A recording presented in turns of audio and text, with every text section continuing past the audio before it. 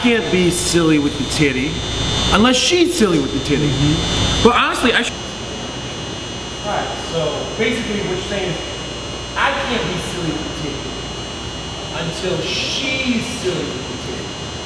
And honestly, maybe I should tone back my titty silliness or just cut it out altogether. Because Frankly, this is like the third relationship that I've just ruined because I do what's funny instead of like validating.